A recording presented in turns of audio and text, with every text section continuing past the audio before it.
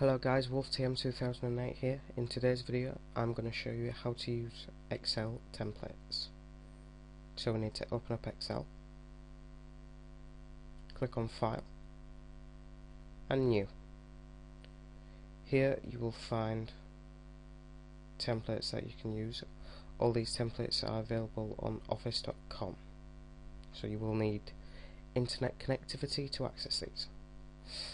So I want to create a receipt.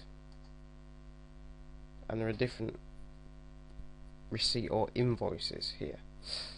And I'm interested in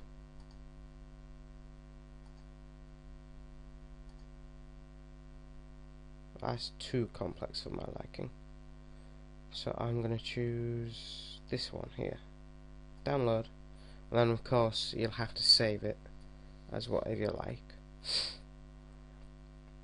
So if you think these are almost the same as in um, the word template ones but it just gives you a Excel sort of view to it using the cells and grids put in your company logo, company name, or customers details, your company details as well. All in all, that looks pretty nice.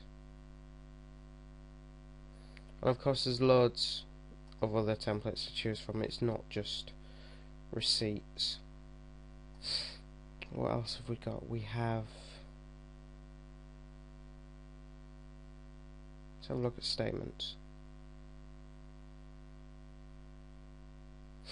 So these, I suppose you could use to um, keep track of your money over a year, as this one would suggest. Notes.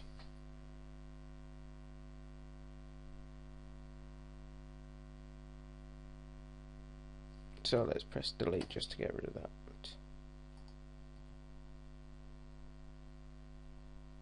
Guess it doesn't want to delete. Ah yeah, It'd help if we read the instructions.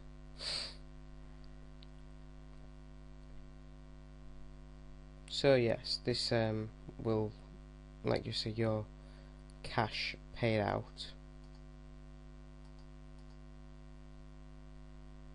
and central operating data that's for more businesses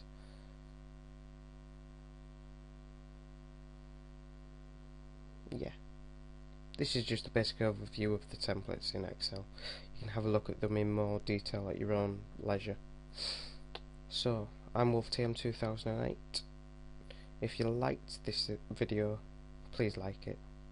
Also don't forget to leave a comment and subscribe if you already aren't a subscriber. Thank you guys and I will see you in a short while